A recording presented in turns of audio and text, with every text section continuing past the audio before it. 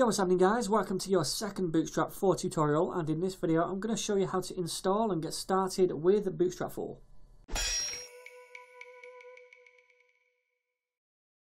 Okay, so the first thing you want to do is head over to the Bootstrap 4 website at this link right here. I'll leave that down below and then you want to click download Bootstrap. So there's various different ways we can download and use Bootstrap in our projects.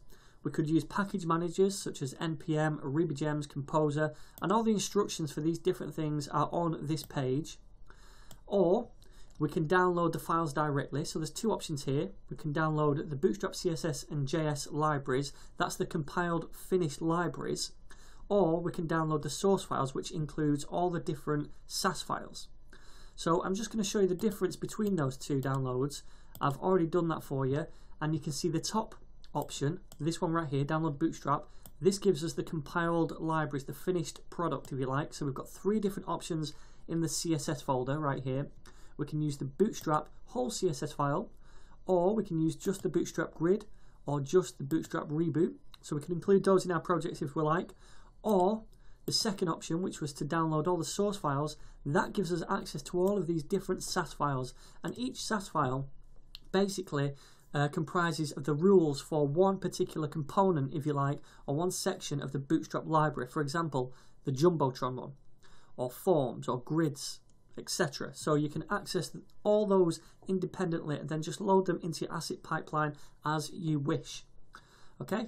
Or the other option, and by far the easiest option to get started, is the CDN. So we can use this link right here for the style sheet and this link right here for the JavaScript because we need the JavaScript for some of the more interactive components of the Bootstrap library. So what I'm going to do is actually none of these. I'm just going to head to the top again and go to Introduction. And if I go to Starter Template right here, you're going to see this HTML that it gives us. And this is kind of like a little template to get us up and running with Bootstrap really quickly. So I'm going to copy all this, go to Atom, and I'm going to create an index file first of all call this index.html and I'm going to paste all of this in here. So just quickly, what's going on?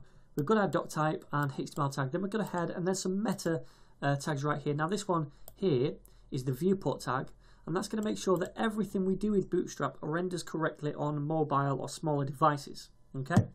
Then we've got the Bootstrap C, uh, CSS right here. And this is so we can use all the Bootstrap classes for grids, layouts, utilities, that kind of thing. Then we've got a body and a h1, and then down here at the bottom we've got three script tags. And notice we've got jQuery first, then Tether, then Bootstrap. So these here are third-party libraries, jQuery and Tether. And we need to use them before the Bootstrap one because some of Bootstrap's JavaScript relies on jQuery and Tether. So the Bootstrap one has to come afterwards. Okay?